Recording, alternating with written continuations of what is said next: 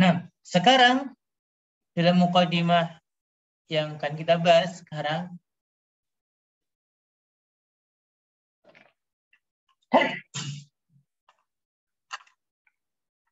dalam mukadimah kali ini uh, penulis akan membahas tentang jumlah dan sibuhul jumlah. Tentang jumlah dan sibul jumlah. Pertama, belum bahas tentang jumlah mufidah atau kalimat sempurna.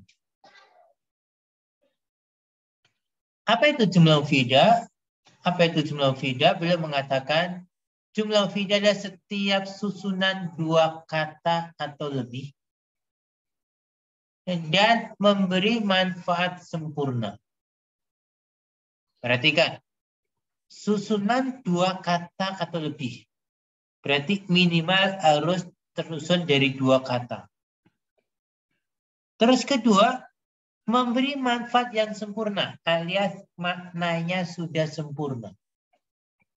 Pertama, minimal tersusun dari dua kata dan bisa juga lebih. Kedua, memiliki makna yang sempurna. Maka itulah disebut jumlah mufidah.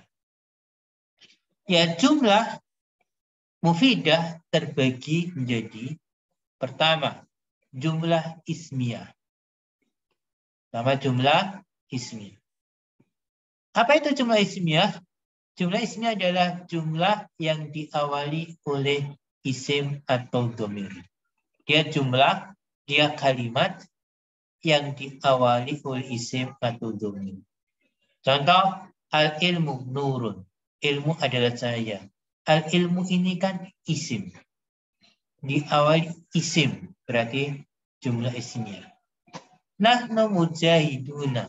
Nahnu mujahiduna. Kami rajin. Nahnu ini domir.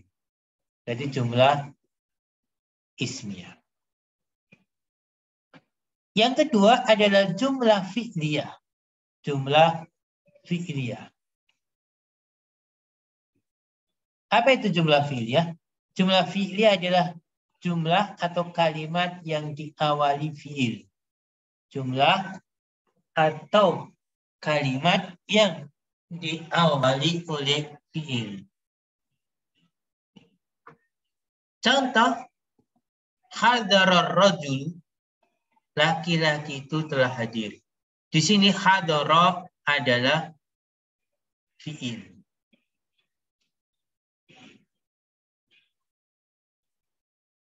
Berarti diawali oleh fi'il. Maka dia jumlah fi'liyah. Yaktubu talibu. Pelajar itu sedang menulis. Maka sini ada dua kata dan diawali oleh fi'il dan punya makna yang sempurna, maka jumlah fi'il. Kemudian kodurus. Belajarlah. Ini jumlah fi'liyah. Kalau ada pertanyaan, loh, udrus bukankah hanya satu kata? Maka jawabannya, udrus ini ada dua kata. Hanya saja kata satunya itu tersembunyi. Tidak boleh dinampakkan. Harus disembunyikan. Sebetulnya dia dua kata. Yang satu harus disembunyikan, maka yang terlihat hanya satu kata. Tapi dia dua kata. Artinya belajar. Nah. Kemudian yang kedua, tadi yang pertama kan jumlah mufidah, kalimat sempurna. Yang kedua adalah sibul jumlah. Sibuhu itu artinya menyerupai. Sul jumlah berarti menyerupai kalimat. Dia menyerupai kalimat tapi bukan kalimat.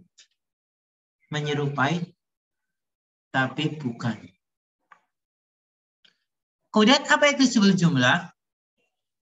Sibul jumlah adalah suatu istilah bagi susunan yang terdiri dari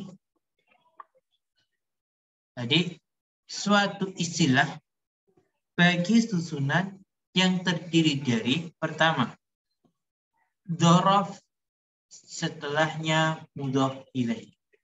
Dorof dan setelahnya ada mudofun ilaih, sibul jumlah. Contoh, fauqa syajarati. Fauqa dorof, asyajarati mudofun ilaih.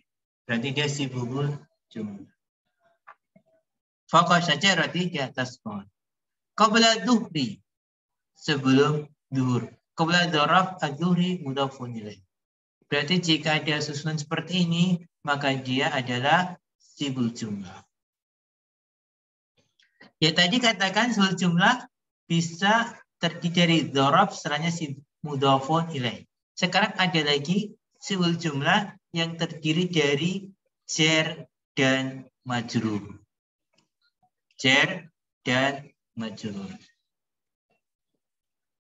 Contohnya firman zil filman zili di rumah itu. Fi huruf zer, alman zili ini majrur. Majrur ya isim di huruf zer. Gampangnya dia sebut isim majrur. Ala maktabi di atas meja itu. Ala huruf zer, al maktabi majrur. Berarti alal maktabi susunan antara huruf jar dan majrur maka termasuk sibukul jumlah.